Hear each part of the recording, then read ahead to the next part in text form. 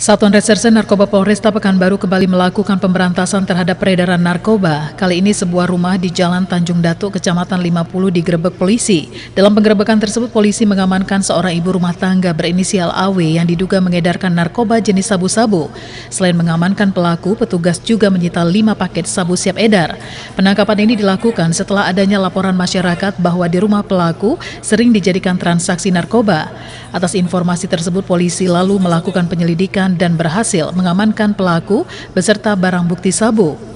Kami dari Sat Narkoba mendapat informasi dari masyarakat pada hari Sabtu tanggal 20 Januari 2018 pada pukul 19.30 ada informasi di rumah Jalan Tanjung Datuk bahwa seorang ibu menjual dan mengedarkan sabu-sabu yang kami melakukan pemancingan satu uji dan setelah kami melakukan penggeledahan di rumahnya ditemukan lima paket di dalam dompet narkotika jenis sabu-sabu. Pelaku serta barang bukti sabu lalu dibawa ke Mako Polresta Pekanbaru guna melakukan pemeriksaan lebih lanjut.